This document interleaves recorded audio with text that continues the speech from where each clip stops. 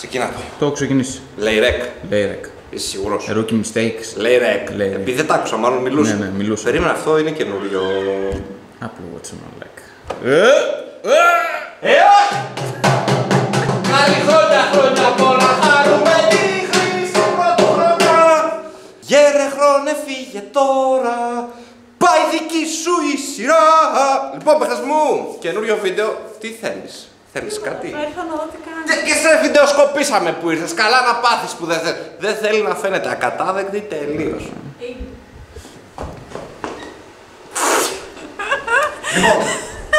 Λοιπόν, είχαμε ένα μικρό ατύχημα, δεν πειράζει όμως. Αυτό πότε το είπες. Αυτό άσε άμα σου πω πως το έπαθα. Είναι μάστορας. Πάω να αλλάξω μπαταρία στην μπανιέρα. Πού μου είπες για τον κάβουρα, ναι. Ωραία. Πιάσει το χέρι σου στον κάβουρα. Όχι, ρε, εντάξει, είπαμε, δεν είμαι τόσο παπάρα. Εντάξει. Πήρα και κάβουρα, εγώ βρήκα με τιμολόγιο κάβουρα. Έτσι. εγώ, εγώ έχω επιχείρηση και ό,τι και να αγοράσω, σούπερ πάω, τρεις φορές το μήνα τιμολόγιο. Γεια σας. Έτσι πρέπει. Βγάζω την μπαταρία και πάω να βγάλω τα προστατευτικά της μπαταρίας από Ναι, ναι. πίσω. Και έτσι όπως το ξεβίδωνα με το χέρι, κράκ! Κάνω ένα εδώ πέρα και κόπηκε αυτό εδώ. Πολύ αίμα. Έμα. Αίμα. Με πήγε αίμα ο αντίχειρας. Αυτό πρέπει να το βάλω στο επί για να είναι αστείο και να μην πάρει και, και να μην πάρει και πολλή ώρα. Σήμερα έχουμε προπόνηση upper body. Λάθος. Προπόνηση push. Φοράμε την πολύ rock εμφάνισή μας.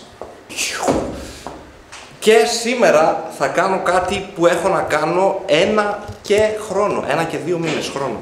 14 μήνες. Ακολουθήστε με. Μωρό μου, Χαλά το πράγμα, παιδιά σου. δεν χαλάς το πλάνο. Ομορφαίνει τη ζωή μου όταν βρίσκεσαι μαζί μου.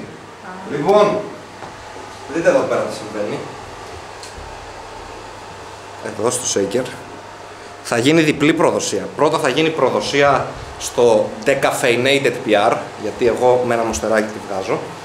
Και δεύτερο θα γίνει προδοσία και στη My Protein, γιατί είπα να δοκιμάσω μια άλλη γεύση, βρε αδερφέ. Όμως έχουμε My Protein έτσι. Θα μπούμε πριν. Αυτό είπαμε έχει 250. 2,50, ναι. Εμένα αυτά τα 2,50. Το ένα σκουπ είναι 2,50. Ναι, ένα καλό σκουμπ. Ένα καλό; Όχι ένα δικό μου σκουμπ, ένα normal σκουμπ. Αυτό είναι ένα normal; Ε, ναι. Ή είναι. Λίγο λιγότερο από normal. Έλα, normal είναι. μάνα. Εντάξει, έλα, έλα. Άντε με βγάλω ζυγαριά. Λοιπόν, θα μπω εδώ. Ωραία, μπήκα. Watermelon γεύση. Να δούμε αν είναι καλή. Εγώ τα χτυπάω, δεν είμαι τόσο προ όσο εσείς. Δεν πάω και Ολύμπια. Ε, εντάξει. Γιατί θέλω να γευτώ τη γεύση. Εγώ και dry σκουμπ που το παίρνω έχει ωραία γεύση. Έχει γεύση χλόφουσκα. Dry σκουπό που με μπήκε στη μύτη. Επίσης εδώ πέρα έχω και τι άλλο έχω. Yay, γλουκόζ. Έχω γλούκος πόση; 50 γραμμάρια. 45. Μάλακ. Και θα μπω κατευθείαν και ό,τι γίνει. Μπορεί να χεστώ, μπορεί να πεθάνω. Παρ' όλα αυτά Για θα έχω κάνε. ξεκινήσει. Taste test. Εγώ να μπω σε. Μυρίζει ωραία. Μπορείς να πει σετ, ναι. Μυρίζει ωραία.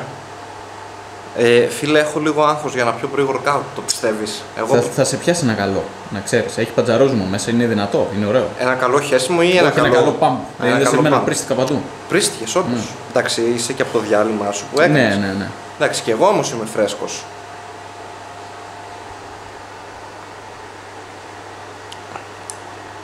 Εντάξει τώρα και με τη ζάχαρη είναι τέλεια η γεύση. Κανονικά η ζάχαρη είναι για intra workout, δηλαδή αν κάνεις και κανένα set για να πιεις. Εγώ δεν έχω κάνει τίποτα, τώρα ξεκινάω. Παρ' όλα Α, θα αυτά. κάνεις και προπόνηση. Ε, ναι. Α. Βασικά θα δούμε, μπορώ να πάω καμιά γύρα με το φιέστα λίγο έτσι να το δοκιμάσω. Πολύ ωραίο. Και με τη ζάχαρη είναι ακόμα πιο ωραίο. Τέλος πάντων, δεν θέλω να σας καθυστερώ άλλο. Μπήκαμε πριν. Let's fucking do some serious training. Καλή χρονιά, χρονιά πολλά. Γεια σας παιδες μου, Πιέρφινς εδώ με ένα ακόμα βίντεο και σήμερα έχουμε δύο πολύ ωραία θεματάκια που εσείς μου ζητήσατε να συζητήσω σε ένα Instagram Q&A που έκανα πριν καμιά εβδομάδα. Λοιπόν, το ένα είναι Progressive Overload. Πώς ξέρω πόσο να ανεβάσω, κάθε πότε να ανεβάζω, τι να κοιτάω και τα σχετικά. Και το δεύτερο είναι Mind Muscle Connection που συνδέονται και λίγο μεταξύ τους και θα σας πω πώς στη συνέχεια. Πριν ξεκινήσω, δύο πράγματα. Προσπαθώ να κάνω record με το μικρόφωνο, εδώ, που είναι πάρα πολύ καλό. Όμως συνέχεια το κάνει από το ένα ηχείο να βγαίνει ο ήχος. Εγώ θέλω και από τα δύο και δεν μπορώ να βρω τη ρύθμιση στο Premiere Pro που έχω και στην κάρτα ήχου που έχω. Οπότε όποιος μπορεί να με βοηθήσει περισσότερο, γιατί μου είπατε για αυτό το λάθος που είχα κάνει στο προηγούμενο βίντεο, να μου στείλει μήνυμα. Το άλλο είναι ότι σήμερα η αγαπημένη μας εταιρεία έχει εκπτώσεις. Οπότε, αν χρειάζεστε οτιδήποτε, μπαίνετε από το link της περιγραφής, μόνο έτσι με στηρίζετε και χρησιμοποιείτε τον κωδικό μου που είναι και αυτός στην περιγραφή και στην οθόνη. Πάμε τώρα στα δύο πολύ ωραία θεματάκια μας. Αρχικά, progressive overload. Τι είναι; Είναι ότι σταδιακά υπάρχει μια πρόοδος, okay? μια υπερφόρτωση. Τι έκανε σήμερα, 100 κιλά, κάποια στιγμή κάνεις 102,5, 105, 110 κτλ. Παρ' όλα αυτά, μπορείτε αμέσως αμέσως να καταλάβετε ότι OK, okay, λέμε progressive overload, λέμε να ανεβάζουμε το φορτίο, τα κιλά δηλαδή που σηκώνουμε, όμως προφανώς αυτό δεν μπορεί να συνεχιστεί εσαεί, γιατί θα φτάσουμε να κάνουμε 500 κιλά καθίσματα μετά από δύο χρόνια που έκανες progressive overload, το οποίο δεν συμβαίνει, οπότε θα πρέπει να αρχίσουμε να αντιλαμβανόμαστε ότι αφού δεν συμβαίνει αυτό, θα πρέπει με άλλον τρόπο να συνεχίσει η προπόνησή μας να γίνεται πιο δύσκολη, προοδευτική, όσο περνάνε οι μήνες και τα χρόνια για να συνεχίσουμε εμείς να βλέπουμε καλύτερο αποτέλεσμα οπτικά στο σώμα μας. Οπότε θα πρέπει να κοιτάξουμε και μεταβλητές όπως «ΟΚ, ανέβασα κιλά, όμως θα νιώθω το ίδιο με πριν». Θα πρέπει, αν για παράδειγμα από τα 100 κιλά κάθισμα πας στα 110 κιλά κάθισμα και επειδή ήταν η πρώτη φορά που τα έκανες την επόμενη εβδομάδα ας πούμε, ε, ζορίστηκες κάπως και δεν ένιωσες τόσο σταθερός, τόσο σωστά την άσκηση στα πόδια σου. Δεν την έκανες λάθος, απλώς ήταν η πρώτη φορά, είχες λίγο άγχος που έκανες 110 κιλά, ζορίστηκες, δεν χρησιμοποίησες τόσο πολύ τα τετρακέφαλα όπως χρησιμοποιούσες στα 100 κιλά, έβαλες λίγο glutes παραπάνω από ό,τι ήθελες. Γιατί μπορεί να κάνεις και κάθισμα για glutes αν θέλεις, γιατί το κάθισμα καλύπτει όλους τους μυς στο κάτω σώμα, ας πούμε. Βέβαια, άμα είσαι λίγο πιο σκυφτός, λίγο πιο όρθιος, που είναι και τα δύο σωστές εκτελέσεις, μπορεί να ενεργοποιήσεις πιο πολύ είτε τον τετρακέφαλό σου είτε τον γλουτό σου. Οπότε τώρα την επόμενη εβδομάδα αντί να κάνεις παραπάνω κιλά, να πας στα 120 ή στα 112,5 ή στα 115 από τα 110, τώρα αυτή την εβδομάδα προσπαθείς να κάνεις τις ίδιες επαναλήψεις ή περισσότερες επαναλήψεις, αλλά με ακόμα καλύτερη σύνδεση, με τη σύνδεση που είχες στα 100 κιλά. Εντάξει. Οπότε με τη σύνδεση εννοώ με το αίσθημα στους μύες σου. Οπότε μπορούν κάποιες εβδομάδες να περνάνε χωρίς εσύ να ανεβάσεις φορτίο. Αυτό όμως που έκανες ήταν να εκτελέσεις με καλύτερη τεχνική, έτσι όπως ήθελες εσύ, την άσκηση ή να ανεβάσεις μία επανάληψη. Όλα αυτά είναι overload δεν μπορεί κάποιος να σου πει, ούτε καν αν έχεις κάποιον πάνω από το κεφάλι σου, δεν μπορεί να σου πει ε, αυτή την εβδομάδα σε αυτή την άσκηση συν 2,5. Αυτή την εβδομάδα σε αυτή την άσκηση συν μια επανάληψη. Αυτό θα πρέπει να έχεις εσύ είτε την εμπειρία είτε την κριτική σκέψη να το κάνεις μόνος σου. Πάμε κάθε φορά στο γυμναστήριο και ξέρουμε ότι θέλουμε να βελτιωθούμε. Αν έχεις το μπλοκάκι σου, όπως σας έχω δείξει σε πολλά βίντεο μου, και ξέρεις τι έκανες και την προηγούμενη εβδομάδα και τις εβδομάδες πριν από αυτή, ξέρεις ότι πώς να βελτιωθώ. Μ, έκανα αυτά τα κιλά την προηγούμενη εβδομάδα, όμως τα ένιωσα έτσι σε αυτή την άσκηση. Οπότε, μάλλον βελτίωση για αυτή την εβδομάδα θα είναι να τα νιώσω καλύτερα. Στην άλλη άσκηση τα ένιωσα τέλεια, άρα ίσως πρέπει να ανεβάσω το φορτίο. Τα ένιωσα τέλεια, αλλά μου βγήκαν λιγότερες επαναλήψεις από το rep range που ήθελα. Ήθελα να κάνω 8 με 10 και μου βγήκαν 7. Άρα θα δουλέψω στο ίδιο, στο ίδιο φορτίο, στα ίδια κιλά και θα προσπαθήσω όντως να μπω στις 8, 9, 10 επαναλήψεις. Εντάξει, αν νιώθεις τέλεια, γιατί κάποιες μέρες μπορεί να νιώθεις τέλεια, μπορεί να νιώθεις χάλια, ε, μπορεί να φτάσεις με αυτό το φορτίο από τις 7 στις 11, να κάνεις τόσο μεγάλο jump. Εντάξει, γιατί εσύ πίεζες το νιώθες τέλεια στα πόδια και δεν κουραζόσουν. Και αντί για 8 επαναλήψεις, έβγαλες 11. Πάλι το σημειώνεις, την επόμενη εβδομάδα προσπαθείς να κερδίσεις το 11.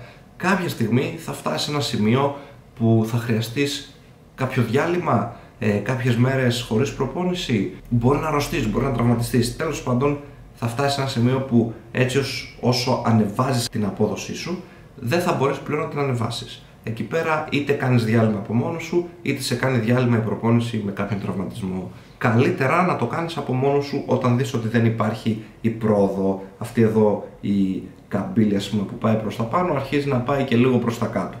Εκεί πέρα κάνεις το διάλειμμα σου και απλά όταν επανέρχεσαι, επανέρχεσαι από ένα πιο χαμηλό σημείο ώστε όντως να αρχίσεις πάλι να νιώθεις τα κιλά όπως θέλεις, να μην τραυματιστείς γιατί έκανες 10 μέρες κενό και τώρα πήγες κατευθείαν στο μάξ σου που το είχες χτίσει μέσα από εβδομάδες και μήνες προπόνησης και ξεκινάς από ένα πιο χαμηλό σημείο, πάλι με τον ίδιο τρόπο θα νιώσεις πολύ πιο γρήγορα ότι θα φτάσεις στο max σου και μετά θα μπορείς να το προοδεύσεις κι άλλο. Το max της απόδοσής σου δεν είναι μόνο το φορτίο, είναι και το πώς νιώθεις, είναι και πόσες επαναλήψεις κάνεις, εντάξει, αυτό είναι το max σου και θα συνεχίσεις να κάνεις αυτό το, την επαναλαμβανόμενη διαδικασία του progressive overload. Οπότε δεν είναι μόνο να ανεβάσω κιλά, νιώθεις καλά, τα ένιωσες τα προηγούμενα καλύτερα, είσαι πάνω από το rep range που θες να δουλέψεις. Ε ναι, ανέβασε δεν είσαι πάνω από το rep range. Μήπως να πιέσεις τα ίδια κιλά για μια-δυο επαναλήψεις παραπάνω; Μήπως δεν τα ένιωσες καλά; Μήπως να μείνεις σε αυτά τα κιλά και να δουλέψεις;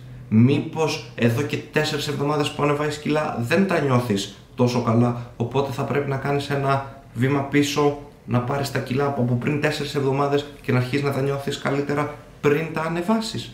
Όλα αυτά συμβαίνουν ανεξάρτητα από κάθε άσκηση, έτσι. Ενώ σε μία άσκηση μπορεί να προοδεύεις κανονικά, την άλλη μπορεί να τη γυρνάς συνέχεια πίσω, την άλλη μπορεί να δεις ότι τελικά μετά από 1,5 μήνα που την εκτελούσες δεν σε βολεύει, αλλά έδωσες χρόνο 1,5 μήνα για να σε βολέψει και την άλλαξες με μία παραπλήσια.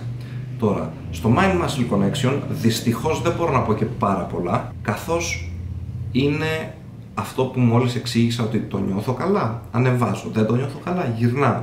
Θα πρέπει να κάνεις προπόνηση και να είσαι εκεί. Εντάξει, κάνεις προπόνηση και είσαι εκεί και αντιλαμβάνεσαι τι συμβαίνει στο σώμα σου. Τα, τα κουνάω με το σωστό τρόπο τα κιλά ή όχι. Υπάρχει καλύτερος τρόπος. Δεν είμαστε full αυστηροί ότι δεν ένιωσα τέλεια, έκανα πίεση και δεν ένιωσα μόνο το στήθος μου. Προφανώς δεν θα νιώσει μόνο το στήθος σου. Μία πίεση χρησιμοποιείς στήθος, ώμο, τρικέφαλο. Εντάξει. Ε, και πλάτη που την έχεις για να σε σταθεροποιεί. Οπότε θα τα νιώσεις όλα. Το θέμα είναι, ένιωσα περισσότερο το στήθος μου γιατί αυτός ήταν ο στόχος μου. Ένιωσα τον τρικέφαλο ή τον ώμο ή ξέρω εγώ δεν ένιωσα καν το στήθος. Αυτά από μόνος σου τα αντιλαμβάνεσαι. Προφανώς υπάρχουν πράγματα που προτείνονται σε κάθε στάδιο που βρίσκεσαι στην προπόνησή σου. Εντάξει, ένας αρχάριος δεν θα κάνει την προπόνηση που κάνω εγώ τώρα με δύο σετ στην κάθε άσκηση, θα κάνει περισσότερα σετ για να έχει περισσότερο χρόνο, περισσότερες επαναλήψεις σε κάθε άσκηση για να μάθει την άσκηση. Εντάξει, μετά όταν έχεις ένα base level of understanding ή όχι απλά κατανόησης αλλά αίσθησης, τότε μπορείς να κάνεις λιγότερα σετ, να κάνεις μεγαλύτερη ένταση, να φτάνεις πιο κοντά στην αποτυχία. Αλλά όταν είσαι super αρχάριος και δεν νιώθεις κάποια άσκηση, κάνεις περισσότερα set με χαμηλότερο intensity, με χαμηλότερη ένταση, δηλαδή δεν φτάνεις τόσο οριακά όσο θέλω να φτάσω εγώ σε κάθε set. Οπότε, αυτά ήταν τα θέματα για σήμερα, ελπίζω να σας άρεσε, προσπάθησα να κάνω το βίντεο και πληροφοριακό και βοηθητικό να μιλήσουμε για κάποια σημαντικά θέματα που αυτά πρέπει κάπως να τα λύνουμε αν θέλουμε να προοδεύουμε, να έχουμε μια κατανόηση πάνω σε αυτά αν θέλουμε να προοδεύουμε.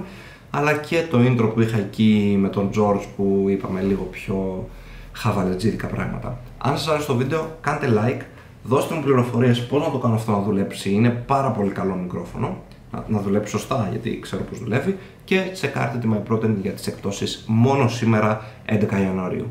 Τα λέμε στο επόμενο, καλή συνέχεια, γεια σας.